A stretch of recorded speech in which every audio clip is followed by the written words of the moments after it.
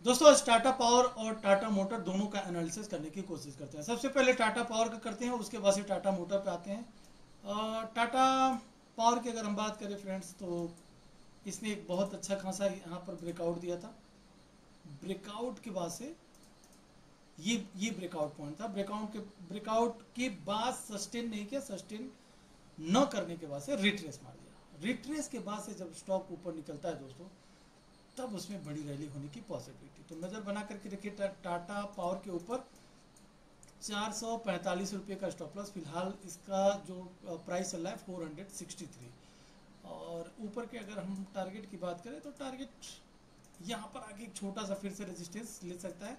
470 के पास और 470 जब निकलेगा, तब देखेंगे कि और कितना ऊपर जा सकता है। अब आते हैं टाटा मोटर के ऊपर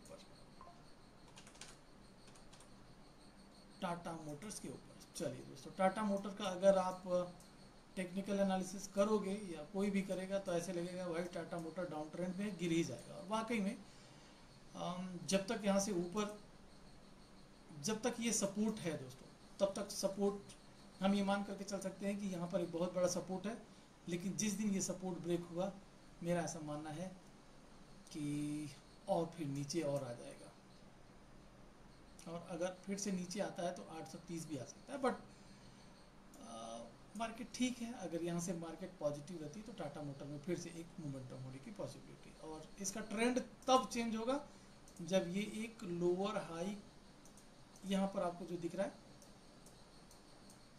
लोअर हाई वाला प्राइस अगर यहाँ से ब्रेक करके ऊपर जाता है, तब इसका ट्रेंड चेंज होगा। फ़िलहाल अगर ट्रेंड देखोगे तो डाउन ट्रेंड में ही है।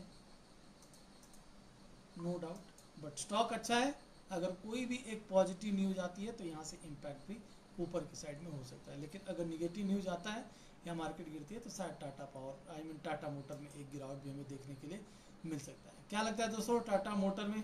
टाटा पावर तो चलो ठीक है। पावर सेक्टर का स्टॉक है और पावर सेक्टर का ज़माना है तो टाटा पावर तो धीरे धीरे निकलेगा ही निकलेगा। बट टाटा मोटर में ये मेरा पॉइंट ऑफ़ व्यू है। आपका क्या पॉइंट ऑफ़ व्यू है? कमेंट ज़रूर कीजिएगा। जय हिंद दोस्तों।